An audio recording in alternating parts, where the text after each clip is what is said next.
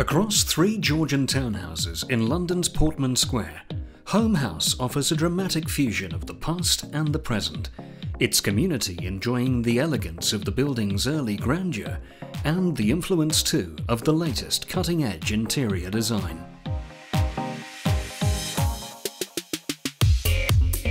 The Countess of Home who commissioned the house back in 1773, she was twice widowed, extremely rich, wanted to have some fun, so she put her money to good use and, and had this house built, or house number 20. And it was built for that purpose, socialising, inviting uh, her London glitterati friends and royalty.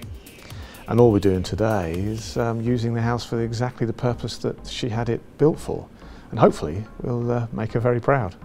Home House is a members club that goes beyond your traditional members club. Uh, and the key element here is it's about fun. There's no stuffiness, there's no formality. Everybody respects one another, um, staff and members alike. And I think that real home from home feel is the real differentiator. And you've got the Georgian splendour here of the Robert Adam interiors. And I think when they come through the door, they're firstly wowed by the decor, um, and then they're wowed by everything that's on offer here. It is open to business and social customers alike, and the place is used in exactly that same way. There's no fixed demographic here um, eclecticism really, really does work for Home House, and that's exactly what it's all about. It's a real mixed melting pot. Home House is a success story in London's flourishing market of members clubs. Launched in 1999, its diverse membership has grown to over 4,400, mostly on recommendation, justifying the acquisition of a further adjoining property. A retreat in the heart of the capital, its offering includes sumptuous lounges, 21 guest bedrooms, a garden and a gym. The management team's focus on injecting more life into the club consistent with its hedonistic origins.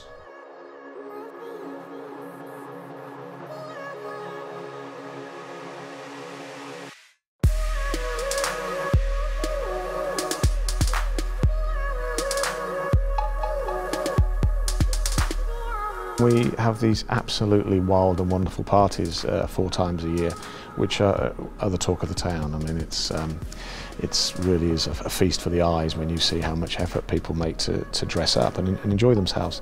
And that's been quite, I think, the bedrock of a lot of our success because there's one thing that people will always talk about is a, is a, is a good party. It's a very, very busy operation. We can, we can have any, anything up to seven, 700 people in the business at one time. So lots of faces to recognise and remember and, um, and that, that's, that's a vital part of, our, of being a private members club. We really, really try and get the right, the right team in place to, to look after our members. And they are, you know, fun, engaging, cool people that, that really enjoy what they do and, and, and live and breathe hospitality. And really just, just just engage with, with, our, with our membership and make sure that, that every, it's, a, it's a really safe place to come and enjoy yourself and, and you know that you're going to get a great, great experience here every time you come.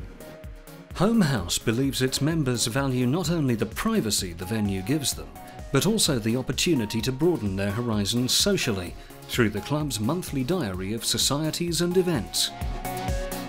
With four bars, a nightclub open until 5am, it's perhaps no wonder that Home House examines how the business is faring from the amount of champagne it sells.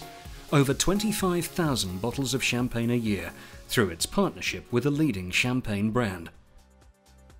What's impressive about Home House and how they operate is really their, their ability to react and to continuously innovate and to not remain complacent. Um, they've put a lot of pressure on us as well to always be creative and come up with new solutions and ideas and new product offerings for their consumers. Refreshing its menus frequently is key across the club's six dining options too, with members assured of the ingredients used in its kitchens.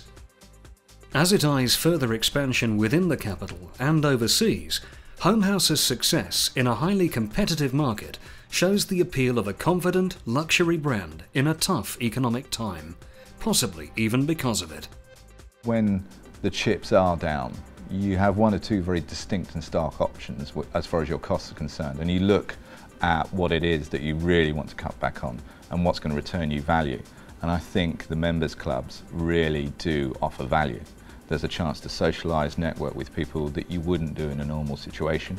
Um, and you have the opportunity to develop relationships above and beyond just a normal business environment and normal social environment. In today's modern world, people are moving from country to country all the time. The best way to get introduced and meet like-minded people is to select the right member club, integrate within that community, um, and it's the perfect place to network and enjoy the luxury that you, you can afford. We are constantly looking at every area. Does it return maximum value to our members? Does it return maximum value to potential members? And are we current and relevant in the marketplace at the moment?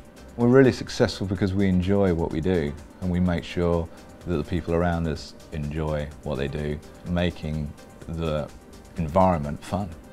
It's got to be fun.